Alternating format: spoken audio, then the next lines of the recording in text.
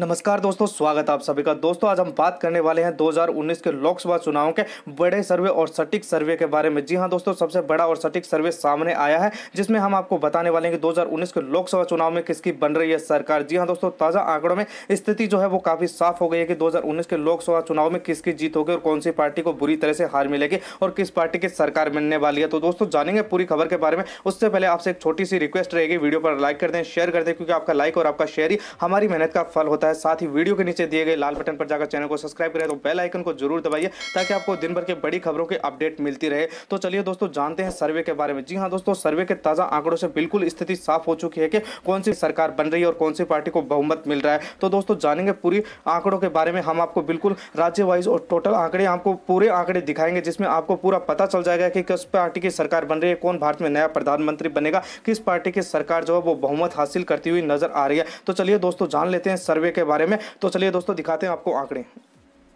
तो दोस्तों, सबसे पहले बात करते हैं तेलंगाना राज्य के। जी हाँ दोस्तों, तेलंगाना में सत्रह लोकसभा की सीटें हैं, जिसमें से बीजेपी के खाते में यहाँ पर दो सीटें जाती हुई नज़र आ रही हैं। तो वहीं यहाँ पर कांग्रेस के खाते में तीन सीटें और रही तथा टी आर एस के खाते में यहाँ पर बारह सीटें जाती हुई नज़र आ रही हैं। जी हाँ दोस्तों, तेलंगाना में तथा बीजेपी और कांग्रेस को यहाँ पर अच्छी खासी सीटें नहीं मिल रही और इन दोनों का यहाँ पर बुरा हाल है। तो वहीं तथा टीआरएस जो है सबसे बड़ी पार्टी के रूप में, क्षेत्रीय पार्टी के रूप में यहाँ पर उभर सामने आएगी। और वहीं दोस्तों, बात कर लेते हैं आंध्र प्रदेश की। तो आंध्र प्रदेश में पच्चीस लोकसभा की सीटें हैं, जिसमें से बीजेपी के खाते में यहाँ पर पाँच सीटें जाती हुई नज़र आ रही हैं। तो वहीं तथा कांग्रेस के खाते में यहाँ पर महज दो सीटों पर ही कांग्रेस सिमटती हुई नज़र आ रही है। तथा वहीं वाई आर के खाते में यहाँ पर अट्ठारह सीटें तो, तो यहाँ पर टी आर खाते में यहाँ पर दो सीटें जा रही हैं। जी हाँ दोस्तों यहाँ पर सबसे बड़ी पार्टी के जो रूप में उभर सामने आएगी आंध्र प्रदेश में वाई आर एस आएगी जो अट्ठारह सीटों पर सबसे ज़्यादा पहले स्थान पर रहेगी। वहीं यहाँ पर बीजेपी जो पाँच सीटों के अंदर सिमटती हुई नज़र आ रही है तो वहीं कांग्रेस जो है वो मात्र दो सीटों के अंदर ही सिमटती हुई नज़र आ रही है। दोस्तों बात करते हैं पश्चिम बंगाल की तो पश्चिम बंगाल में बयालीस लोकसभा की सीटें हैं जिसमें से बीजेपी के खाते में यहाँ पर तीस सीटें और वहीं कांग्रेस का यहाँ पर पश्चिम बंगाल में खाता खुलता हुआ भी नहीं दिख रहा वहीं तथा टीएमसी के खाते में यहाँ पर बारह सीटें आने वाली है। जी हाँ दोस्तों,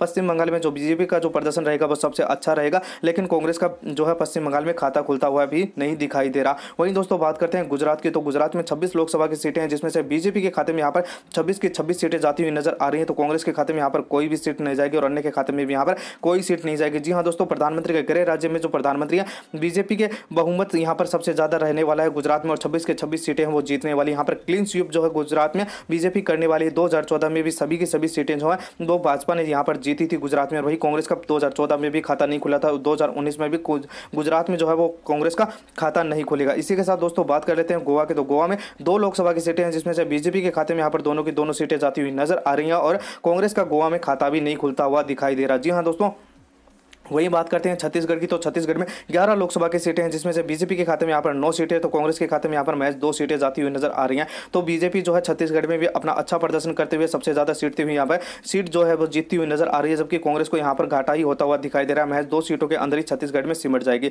इसी के साथ दोस्तों, बात कर लेते हैं झारखंड की। तो झारखंड में चौदह लोकसभा की सीटें हैं, जिसमें से बीजेपी के खाते में यहाँ पर दस सीटें जाने का अनुमान एग्जिट पोल में लगाया जा रहा है। तो वहीं कांग्रेस के खाते में यहाँ पर चार सीटें जाने का अनुमान एग्जिट पोल में आ रहा है। तो यहाँ पर भी कांग्रेस जो है, वो अपना प्रदर्शन अच्छा नहीं कर पा रही और यहाँ पर सबसे ज़्यादा बढ़िया प्रदर्शन जो है, वो झारखंड में बीजेपी का रहने वाला और बीजेपी यहाँ से दस सीटें जीतने वाली है चौदह में से और वहीं कांग्रेस को जो है यहाँ पर चार सीटों के अंदर ही सिमट जाएगी। वहीं दोस्तों बात कर लेते हैं, असम राज्य की तो असम में भी चौदह लोकसभा की सीटें जिसमें से बीजेपी के खाते में यहाँ पर नौ सीटें जाती हुई नज़र आ रही है तो वहीं कांग्रेस के खाते में यहाँ पर महज पाँच सीटों के अंदर ही सिमट जाएगी। जी हाँ दोस्तों, असम राज्य में जो है चौदह सीटों पर सबसे ज़्यादा जो सीटें मिल रही हैं, वो बीजेपी को मिल रही है। वहीं कांग्रेस के खाते में यहाँ पर कोई भी, यानी पाँच सीटों के अंदर ही सिमटती हुई नज़र आ रही है, जबकि काफ़ी कम सीटें कांग्रेस के हाथ यहाँ पर लगने वाली है। वहीं दोस्तों, नागालैंड की बात करते हैं तो नागालैंड में एक लोकसभा की सीट है जो कि बीजेपी के खाते में जाती हुई नज़र आ रही है, जबकि कांग्रेस के खाते में कोई भी सीट यहाँ पर नागालैंड में नहीं जाएगी। वहीं दोस्तों, बात करते हैं मिजोरम की। तो मिजोरम में एक लोकसभा की सीट है जो कि बीजेपी के खाते में यहाँ पर जाती हुई नज़र आ रही है। यानी एक मिजोरम की जो सीट है, उस पर बीजेपी की जीत होगी। कांग्रेस के खाते में यहाँ पर कोई भी सीट आती हुई नज़र नहीं आ रही। वहीं दोस्तों, मेघालय की बात करते हैं तो मेघालय में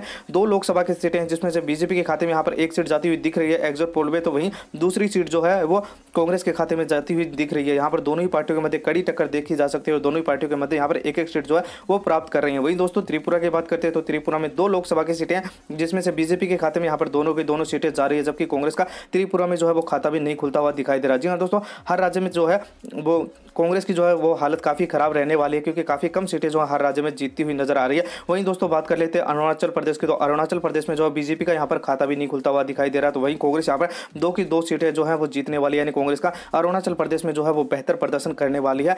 कुछ है कि राज्य जहाँ पर कांग्रेस जो अच्छा प्रदर्शन कर रही है, जिसमें से एक है अरुणाचल प्रदेश। वहीं दोस्तों बात कर लेते हैं, हरियाणा। तो हरियाणा में दस लोकसभा की सीटें हैं, जिसमें से बीजेपी के खाते में यहाँ पर दस की दस सीटें जाती हुई नज़र आ रही हैं। वहीं कांग्रेस के खाते में यहाँ पर कोई भी सीट नहीं जाएगी। जी हाँ दोस्तों।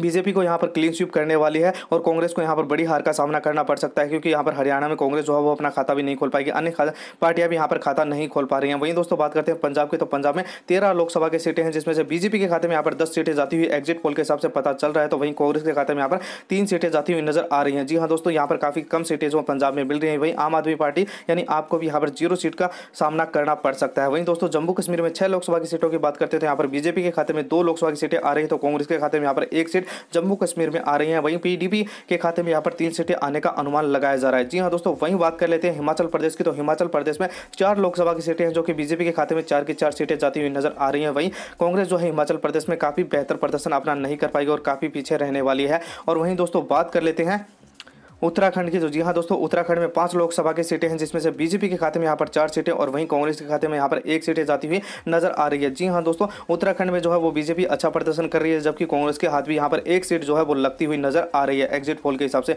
वहीं दोस्तों, बात कर लेते हैं दिल्ली की। जी हाँ दोस्तों, दिल्ली में सात लोकसभा की सीटें हैं, जो कि बीजेपी यहाँ पर सात की सात सीटें जीतने वाली है और वहीं कांग्रेस को यहाँ पर ज़ीरो सीट का सामना करना पड़ेगा। यानी कांग्रेस का सुपड़ा जो है वो साफ़ होने वाला है दिल्ली के अंदर भी। जी हाँ दोस्तों, दिल्ली के अंदर दो हज़ार चौदह में भी जो है बीजेपी ने जो है वो सात की साथ सीटें जीती थी और 2019 में भी सात के साथ सीटें जीतने वाली है और 2014 में भी कांग्रेस का यहाँ पर खाता नहीं खुला था और 2019 में भी दिल्ली में कांग्रेस का खाता खुलता हुआ नहीं दिख रहा। वहीं दोस्तों बात करते हैं राजस्थान की तो राजस्थान में यहाँ पर बीजेपी को जो है वो एक चौबीस सीटें मिल रही है तो वहीं कांग्रेस को यहाँ पर एक सीट का सामना करना पड़ रहा है। जी हाँ दोस्तों।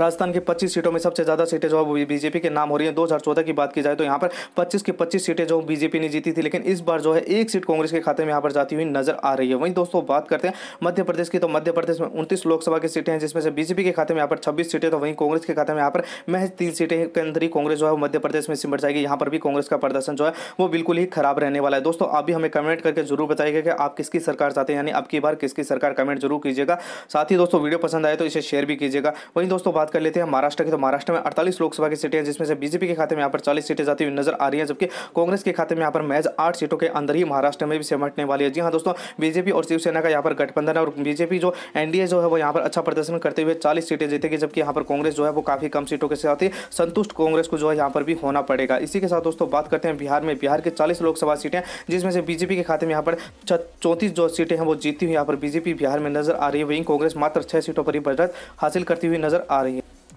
तो दोस्तों, बिहार में भी जो बीजेपी है, वो अच्छा प्रदर्शन करती हुई नज़र आ रही है, जबकि यहाँ पर कांग्रेस जो है, काफ़ी पीछे रहने वाली और अच्छा प्रदर्शन कांग्रेस का यहाँ पर भी नहीं रहने वाला बिहार में। वहीं दोस्तों, बात कर लेते हैं तथा उत्तर प्रदेश की तो उत्तर प्रदेश में अस्सी लोकसभा की सीटें हैं, जिसमें से बीजेपी के खाते में यहाँ पर सत्तर लोकसभा सीटें जाने का अनुमान है तो वहीं कांग्रेस को यहाँ पर मात्र एक सीट मिलेगी और वहीं एस पी गठबंधन को यहाँ पर आठ सीट मिलने का अनुमान लगाया जा रहा है। जी हाँ दोस्तों, उत्तर प्रदेश में अस्सी लोकसभा की सीटें जो कि सबसे ज़्यादा है और वहीं सबसे ज़्यादा होने के बावजूद बीजेपी जो है, यहाँ पर सबसे ज़्यादा सीटें कवर कर रही है। अस्सी में से इकहत्तर सीटें जो बीजेपी के खाते में जाती हुई नज़र आ रही है, वहीं बात करते हैं कांग्रेस कांग्रेस को। यहाँ पर सबसे बड़ा झटका लगने वाला है क्योंकि अस्सी सीटों में से मात्र एक सीट जो है वो कांग्रेस यहाँ से जीतने वाली है। और वहीं एस पी की माने तो यहाँ पर आठ सीटें वो जीतकर वो भी अच्छे खासा यहाँ पर प्रदर्शन अपना करने वाली है। वहीं दोस्तों बात कर लेते हैं तथा तमिलनाडु की। जी हाँ दोस्तों, तमिलनाडु में उनचालीस लोकसभा की सीटें हैं, जिसमें से बीजेपी के खाते में यहाँ पर तथा बाईस सीटें और वहीं कांग्रेस के खाते में यहाँ पर सत्रह सीटें जाती हुई नज़र आ रही हैं। जी हाँ दोस्तों, तमिलनाडु के मध्य दोनों ही पार्टियों के मध्य कड़ी टक्कर देखने को मिल रही है और दोनों ही पार्टियाँ ज़्यादा से ज़्यादा यहाँ पर सीटें जीतने की कोशिश कर रही है, जबकि दोनों ही पार्टियों के मध्य बराबर है और वहीं कुछ एक दो सीट के साथ जो है, वो बीजेपी आगे निकलती हुई नज़र आ रही है एग्जिट पोल में। वहीं दोस्तों, बात कर लेते हैं कर्नाटक में तो कर्नाटक के अट्ठाईस लोकसभा की सीटें हैं, जिसमें से बीजेपी के खाते में यहाँ पर चौबीस सीटें तो वहीं कांग्रेस के खाते में यहाँ पर चार सीटें जाने का अनुमान लगाया जा रहा है। जी हाँ दोस्तों, कर्नाटक में जो है, वो बीजेपी एक बड़ी पार्टी के रूप में उभर कर आएगी, जबकि कर्नाटक में भाजपा को है, वो फिर से झटका लगने वाला है और भाजपा जो है चार सीटों के अंदर ही कर्नाटक राज्य में सिमट जाएगी। वहीं दोस्तों, बात कर लेते हैं केरल की। जी हाँ दोस्तों, केरल में बीस लोकसभा की सीटें हैं, जिसमें से बीजेपी के खाते में यहाँ पर दो सीटें जाती हुई नज़र आ रही है तो कांग्रेस के खाते में यहाँ पर सात सीटें जाती हुई नज़र आ रही है। जी हाँ दोस्तों, केरल राज्य में जो है, वो सबसे बड़ी पार्टी के रूप में उभर कर कांग्रेस सामने आएगी और इसी के साथ ही एलडीएफ जो है यहाँ पर दस सीटें जीतकर दूसरी बड़ी क्षेत्रीय पार्टी के रूप में उभर कर आएगी, जबकि राष्ट्रीय स्तर की पार्टी को देखें तो यहाँ पर कांग्रेस अच्छा प्रदर्शन कर रही है, जबकि बीजेपी यहाँ पर काफ़ी पीछे रहने वाली है और वहीं एलडीएफ जो है, वो क्षेत्रीय पार्टियों में सबसे अच्छा प्रदर्शन करते हुए यहाँ पर केरल में दस सीटें जीती हुई नज़र आ रही है। वहीं दोस्तों, बात कर लेते हैं उड़ीसा। तो उड़ीसा के इक्कीस लोकसभा की सीटें जिसमें से बीजेपी के खाते में यहाँ पर पंद्रह लोकसभा की सीटें जा रही हैं। तो यहाँ पर कांग्रेस का उड़ीसा राज्य में फिर से खाता नहीं खुलता हुआ दिखाई दे रहा और वहीं बीजेडी को यहाँ पर छह सीटें मिलती हुई नज़र आ रही हैं। जी हाँ दोस्तों, उड़ीसा जो राज्य है, वहाँ पर बीजेपी को काफ़ी अच्छा बहुमत मिलता हुआ नज़र आ रहा है और पंद्रह सीटें यहाँ पर मिलेंगी। भाई बीजेडी को भी यहाँ पर छह सीटें और कांग्रेस का यहाँ पर खाता नहीं खुलेगा। कांग्रेस का उड़ीसा से इस बार भी सुपड़ा जो है, वो साफ़ होता हुआ नज़र आ रहा है। वहीं दोस्तों, बात कर लेते हैं कुल सीटों की। जी हाँ दोस्तों, हमने सभी राज्यों वाइज आपको सीटें दिखा थी अब बात करते हैं कुल सीटों की। तो दोस्तों, कुल सीटों की बात की जाए तो यहाँ पर तथा 500 तथा बयालीस सीटों की बात की जाए तो 542 सीटों में से जो बीजेपी है, यानी बीजेपी और गठबंधन को यहाँ पर जो है वो तीन सौ सीटें जो है वो मिलती हुई यहाँ पर नज़र आ रही है। वहीं कांग्रेस मात्र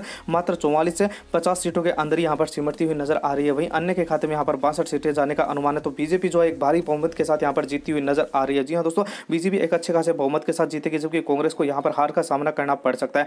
और दोस्तों, वही बताइए, अगर आपको, आप भी दोस्तों हमें कमेंट बॉक्स में ज़रूर बताइएगा कि आप किसकी सरकार चाहते हो। और वहीं दोस्तों, वीडियो अच्छा लगा हो तो लाइक ज़रूर कीजिएगा, अपने दोस्तों में शेयर भी कीजिएगा और वीडियो के नीचे दिए गए लाल बटन पर जाकर चैनल को अभी सब्सक्राइब कर बेल आइकन को ज़रूर दबा दीजिए ताकि आपको आगे आने वाले वीडियो के नोटिफिकेशन आपको मिलती रहे। मिलते हैं और वीडियो में, जब तक के लिए जय हिंद, धन्यवाद।